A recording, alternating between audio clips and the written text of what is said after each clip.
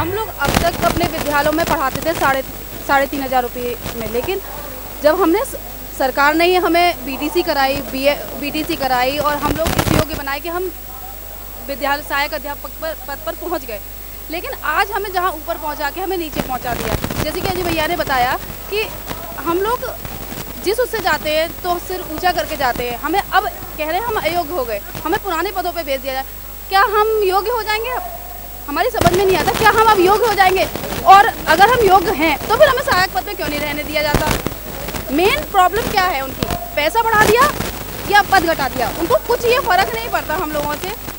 साढ़े तीन हज़ार रुपये योग्य हैं और वैसे हम बिना योग्य हैं। इन लोग, सरकार को ये नहीं दिखाई दे रहा कि तीन दिनों से हम यहाँ पड़े हुए हैं। लेडीज़ें कुछ लेडीज़ें अपने बच्चों को लेके आई हैं। हमारे हम अलीगढ़ से हमारे बच्चे घर पे पड़े हुए हैं छोटे छोटे बच्चे। कैसे खा रहे हैं, कैसे पी रहे हैं, क्या कर रहे हैं, हमें नहीं मालूम। हम यहाँ पड़े हुए हैं, हमारे खुद खाने पीने का नहीं है। जो भी व्यवस्था थी पहले दिन की थी दूसरे दिन की थी पैसे भी उतने ही होते हैं लिमिट में कि कितना खाना है कितना नहीं लेना। लेकिन सरकार के कान पर जू नहीं रह रही है। आज तीन दिन हो गए कोई स्टेटमेंट नहीं आया प्रधानमंत्री जी का।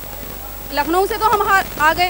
योगी जी का कोई स्टेटमेंट नहीं आया। लेकिन आज हम यहाँ आए हैं उनके पास में दिल्ली आए हैं जो दिल्ली सबसे बड़ा हमारा वो है वहाँ से कोई स्टेटमेंट नहीं मिला। तीन दिन हो गए तो ये चीज़ें भी गलत होती हैं। हम लोगों के ऊपर गलत इफ़ेक्ट डालती हैं। मैडम आपका नाम?